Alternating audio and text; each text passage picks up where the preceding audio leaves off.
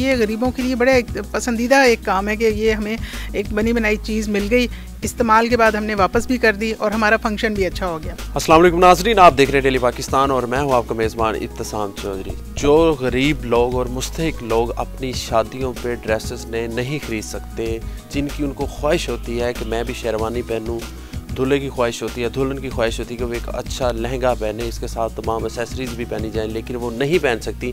تو ان کے لیے بہت بڑی خبر ہے۔ لاہور میں ایک ایسی دکان موجود ہے اپنی دکان کے نام سے یہاں سے آ کر شادی کے لیے فری آف کاسٹ ڈریسز لے سکتے ہیں اور اپنی خوشیاں دوبالا کر سکتے ہیں۔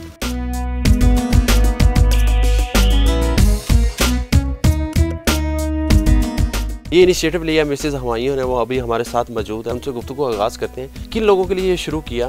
اور کیا سوچ کر ویژن کیا تھا؟ ہمارے پاس بہت سے غریب فیملیز جن کے اوپر ہم تعلیم کا کام کر رہے ہیں، جگیوں کے کوارٹروں میں رہنے والے، ان کے ساتھ جو کنیکٹڈ فیملیز ہیں، وہ بہت زیادہ ڈیزرونگ فیملیز ہیں۔ ان کو ہم چاہتے ہیں کہ وہ ان کے چھوٹے چھوٹے ایونٹس ہوتے ہیں، ان کی خوشیاں ہوتی ہیں جو کہ وہ سیلیبریٹ نہیں کر پاتے۔ تو ہمارے پاس جو ویل آف لوگ ہیں، ان کے پاس گھروں میں بہت سے ایسے سامان ہوتے ہیں جو ڈمپ کیے ہوتے ہیں اسٹوروں میں، پیٹیوں میں، الماریوں میں۔ تو شادی کے بعد یا بہت سے ایسے فنکشن فنکشنز کے بعد ایک دفعہ وہ ڈریس پہنا اور اس کے بعد اس کو الماریوں میں اسٹور کر دیا۔ تو یہ کانسیپٹ یہی ہے کہ وہ لوگ ڈونیٹ کریں تاکہ ان کی چیزیں یوز ہو سکیں۔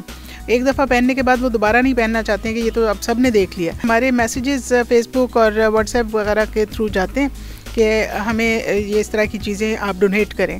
تو لوگ ڈونیٹ کرتے ہیں، بہت کھلے دل سے ڈونیٹ کرتے ہیں اور یہ چیزیں جیسے برائڈل ڈریسز ہو گئے، شیروانیاں ہو گئیں، یہ ایسے ڈریسز ہوتے ہیں جو کہ ایک ہی دفعہ پہننے ہوتے ہیں۔ تو جب یوز ہونے کے بعد الماریوں میں، پیٹیوں میں چلے جاتے ہیں اسٹورز میں ڈمپ ہو جاتے ہیں، تو اس سے بہتر ہوتا ہے کہ وہ ڈونیٹ کر دیں۔ اور اس طریقے سے پھر ہم ان لوگوں کو بتاتے ہیں کہ بھئی اگر آپ کی کوئی شادی وغیرہ ہے تو آپ ہم سے لے سکتے ہیں۔ تو وہ پھر ہمیں اپنے، یہ ریکویسٹ بھیجتے ہیں۔ اور پھر ہم سے لے لیتے ہیں اور یوز کرنے کے بعد واپس کر دیتے ہیں۔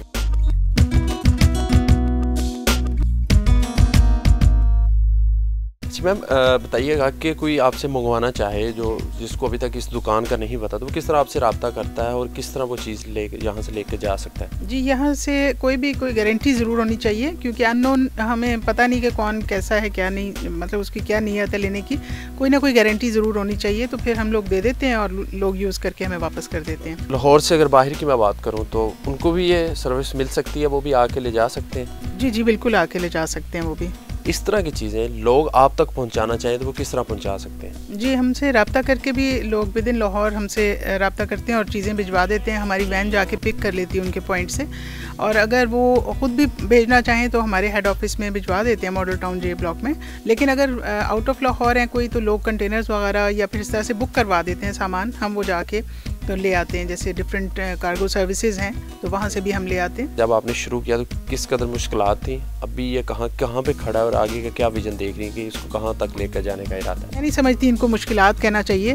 اگر جذبہ ہے تو یہ سب کام تو پھر کرنے سے ہی کچھ اجر ملے گا۔ بیٹھے بٹھائے تو کوئی خدا سے اجر نہیں ملنے والا ہمیں۔ اگر کچھ جذبہ رکھنے والے لوگ اٹھتے ہیں تو ان کے پاس کام کرنے کے لیے بہت سا میدان ہے تو یہ والا کام جو ہے یہ غریبوں کے لیے بڑے پسندیدہ ایک کام ہے کہ یہ ہمیں ایک بنی بنائی چیز مل گئی، استعمال کے بعد ہم نے واپس بھی کر دی اور ہمارا فنکشن بھی اچھا ہو گیا۔ بہت سے غریب لوگ، گھرانے ایسے ہیں کہ وہ شادی ان کی اسی وجہ سے نہیں ہو پاتی کہ ایک تو جہیز کا بہت بڑا ایشو ہے اور دوسرا کپڑوں کا ہے۔ اور خواتین کے لیے کپڑے تو ویسے بھی بہت زیادہ معنی رکھتے ہیں، لہنگے کے بغیر تو وہ شادی کا تصور نہیں کر سکتی، تو کیا کہیں گے ان کے لیے؟ جی ویسے تو سادگی کا ہمیں حکم ہے، لیکن ظاہر ہے یہ ایسے موقعوں پہ ہر ایک کی خواہش ہوتی ہے کہ خوبصورت لگنے میں ان کا جو بھی وہ سامان خریدیں اور اس کے بعد اپنا چیزوں کو سب مہمانوں کے سامنے ایک اچھی طرح پیش ہوں۔